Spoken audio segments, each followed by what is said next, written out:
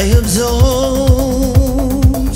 all my responsibilities if I take your hand in my mouth.